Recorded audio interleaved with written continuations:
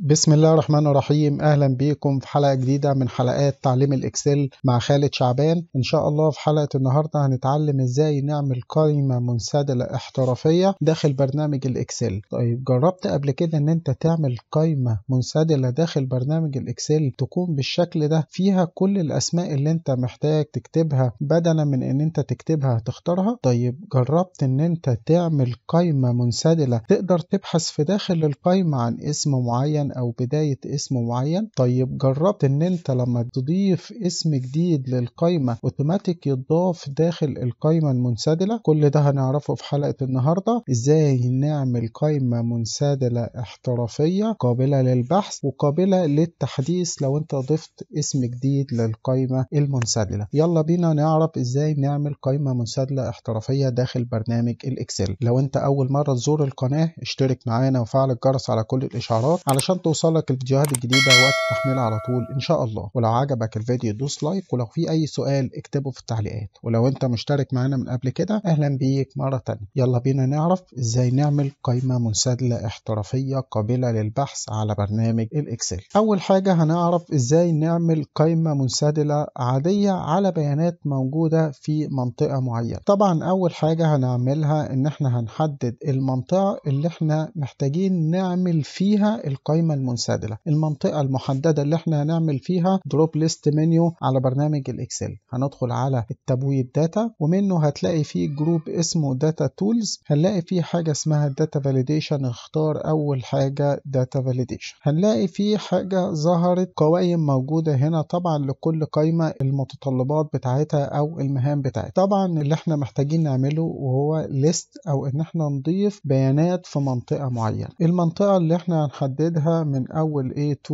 لحد A21 وبعد كده هندوس OK. بس كده أنا عملت قائمة منسدلة. إيه المطلوب مني بعد كده علشان أخلي القائمة المنسدلة دي قابلة للبحث؟ طبعا في الإصدارات القديمة في عندنا إصدارات في Office 365 في تحديث جديد. بمجرد إن أنت تعمل القائمة المنسدلة دي هتقدر تبحث بداخلها. يعني مجرد إنك تبقى أكتب حرف معين من الاسم يظهر الحرف ده سواء في الأول أو في منتصف الكلام أو في آخر الكلام سواء عربي أو إنجليزي. لو أنا كتبت حرف إنجليزي مثلا هيظهر لي الأسماء اللي فيها الإنجليزي. ولو أنت عامل بحث عن أرقام معينة ومجرد مثلا إن إحنا نعمل أرقام معينة ونبحث مثلا داخل القائمه هنا عن رقم من الأرقام اللي موجودة داخل القائمه هيظهر القائمه اللي موجودة. لكن في الإصدارات القديمة إحنا شرحنا في فيديو هتلاقيه دلوقتي موجود في صندوق الوصف إزاي تعمل قائمه منسدله قابلة للبحث لو انت مش عندك الخاصية دي على ال Office أو لسه التحديث ده مش عندك. طيب أنا أعرف منين إن التحديث ده عندي ولا مش عندي؟ اولا التحديث ده على Office 365 الإصدار الأونلاين وإصدار ال desktop. طيب الإصدار رقم كام من ال Office 365 اللي موجود عليه التحديث ده؟ ابتداء من إصدار 2409 ودي هتعرفها لما تدخل هنا على Account هتلاقي نوع الإصدار اللي موجود عندك ال version 2412 هي ابتداء من الإصدار 2409 هتلاقي التحديث ده موجود. طيب اللي بعد كده إيه المفروض أنا أعمله؟ علشان أجعل القائمه دي قائمه قابلة لتحديث. يعني لو أنا ضفت اسم جديد هنا مثلا باسم خالد شعبان مثلا وأدخل على القائمه هنا علشان أبتدي أضيف الاسم هل هلاقي الاسم موجود؟ لا الاسم مش موجود. طيب هل أنا مطالب إن أنا أعمل تنشيط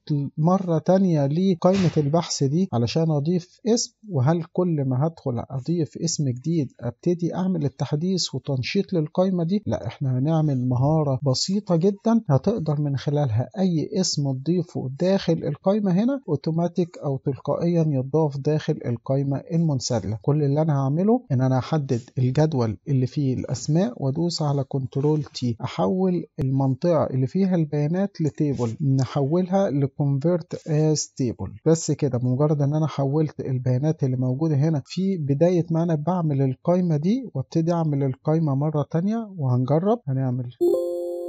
ال list الجديدة ونبتدي نضيف فيها بس هنحدد الصف كده. هنلاحظ ان هو محدد المنطقة بالكامل. وندوس على OK. هنلاحظ هنا إن الاسم الأخير ظاهر معانا. طب أضيف اسم تاني علشان أتأكد إن بمجرد ما بدوس أي اسم هنا هيتضاف أوتوماتيك داخل القائمة المنسدلة أكتب نفس الاسم بالإنجليزي.